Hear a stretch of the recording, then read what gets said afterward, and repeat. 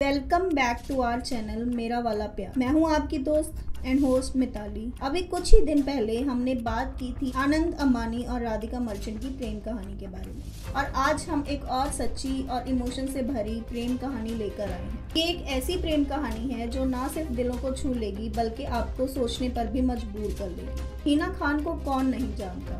और उनके प्यार रॉकी जायसवाल से भी पूरी दुनिया की मुलाकात हो ही चुकी है। तो देर किस बात की? चलिए स्टार्ट करते हैं इनकी सच्ची प्रेम कहानी जो मुश्किलों के बावजूद नहीं रुकी। हिना खान एक छोटी सी लड़की श्रीनगर से जो अपने सपनों को साथ लेकर मुंबई आई थी। सपने बड़े थे पर सफ़र और भी मुश्किल। और इसी सफ़र में उनकी मुलाकात हुई रॉकी जायसवाल से, जो उनके हर कदम पर उनका साथ बन गए।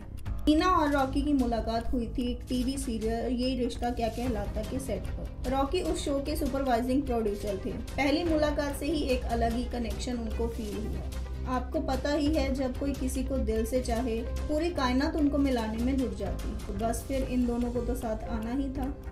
अब बात करते हैं बिग बॉस के घर की कहानी की। हीना खान बिग बॉस के घर में अपने दर्शकों का दिल जीत रही थी और घर के अंदर की मुश्किलों से भी लड़ रही थी और तब होती है रॉकी जायसवाल की एंट्री हीना को सपोर्ट करने के लिए रॉकी सबके सामने आए और अपने प्यार का इजहार किया। वहाँ सबके सामने उन्होंने हीना को प्रपोज भी किया। वो मोमेंट वो इमोशन सबके दिल को छू गए। बिग बॉस के बाद हीना ने अपनी बॉलीवुड जर्नी स्टार्ट की। हैक्ट और लाइंस जैसे प्रोजेक्ट्स, जिसमें हीना ने अपने एक्टिंग स्किल्स को दिखाया और हर कदम पर रॉकी उनके साथ थे। उनका सपोर्ट सिस्टम बन गया लेकिन ज़िंदगी सिर्फ़ सक्सेस और खुशियों से भरी नहीं हुई एक ऐसा भी पल आया था जब हीना ने अपने पापा को खोया। ये वक्त हीना के लिए बहुत ही मुश्किल था, पर रॉकी ने फिर एक बार दिखाया अपना सच्चा प्यार। उन्होंने हीना को संभाला, उसका साथ दिया और उसे इन दुख भरे वक्त से बाहर निकालने में मदद। और अगर आज की बात करें तो हीना एक और जंग लड़ रही है ब्रेस्ट कैंसर से। जी हाँ। ये सफ़र उनके लिए बहुत मुश्किल है,